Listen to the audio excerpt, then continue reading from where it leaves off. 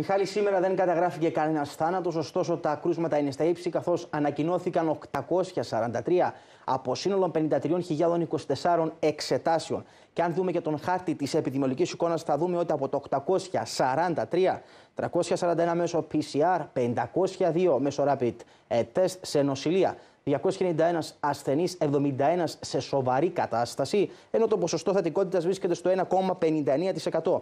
Και αν δούμε την κατανομή των rapid test στις επαρχίες, θα δούμε ότι στην Λευκοσία 181 ε, στην Λεμεσό 109-96 στην Λάρνακα, 46 στην Πάφο και 15 στην Αμόχωστο. Ενώ σήμερα έτσι εντοπίστηκαν και αυξημένα τα rapid test στην μέση εκπαίδευση Μιχάλη με 42. Κωνσταντίνε, ευχαριστούμε. Έκλειση στον κόσμο.